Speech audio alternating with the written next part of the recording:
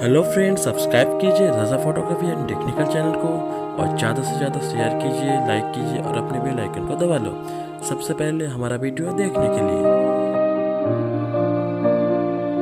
Hi friend आज मैं आया हूँ एक नया वीडियो लेके। सर्दी में कबूतर को सही रखने के लिए उसका जो दाना पानी का इंतज़ाम करना पड़ता है और कबूतर का उड़ान को ठीक ठाक रखने के लिए जो दाना पानी लगता है, उसके ऊपर मैं एक वीडियो बना रहा हूँ। तो ये रहा मेरा जो दाना पानी है आप देख सकते हो, ये है मेरा दाना। अगर आप कबूतर को ये सब दाना खिलाओगे तो एकदम हंड्रेड परसेंट गारंटी देता हूँ आपका कबूतर का बीमारी नहीं आएगा, कबूतर का उड़ान का टाइमिंग डबल हो जाएगा, और कबूतर का हेल्थ जो है वो एकदम फ्रेश रहेगा। ये देख सकते हो, ये सब दाना है। इसमें बहुत कुछ दाना आपको मिल जाएगा, आप देख सकते हो। गेहूँ है पुलसा है, कढ़ाई है बहुत सूर्यमुखी है और भी बहुत सारा दाना है। मैं इसका लिस्ट बना के एक अलग वीडियो में दिखा दूँगा आपको। तो ये सब दाना आप यूज़ करो। तो कबूतर का हेल्थ सर्दी में एकदम बढ़िया रहेगा। उड़ान का टाइमिंग बढ़ेगा और बहुत ही बेहतरीन रिज़ल्ट आपको देखने को मिलेगा।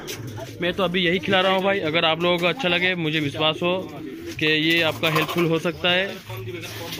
तो आप ये ज़रूर यूज़ कर सकते हो। एकदम एकदम भाई मिलेगा मिलेगा। उड़ान का टाइमिंग भी मिलेगा।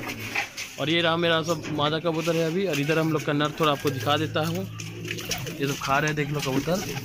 मैं डुप्लीसिटी बात नहीं करता भाई, इधर आपको लाइव दिखा देता हूँ। देखो कबूतर को मैं खिला रहा हूँ। ठीक है? क्योंकि ये पूरा मेरा ही लॉफ्ट है। मैं कबूतर उठाया हुआ, कबूतर दिखाता नहीं। लॉफ्ट का कबूतर, दिखाता हूँ। जो मेरा खुद का है, उड़ता है, नसलदार कबूतर है। ठीक है भाई?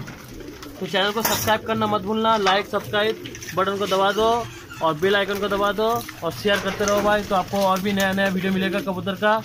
अलग अलग वीडियो मिलेगा अलग अलग कबूतर का, सब कुछ आपको देखने को मिल जाएगा। Thank you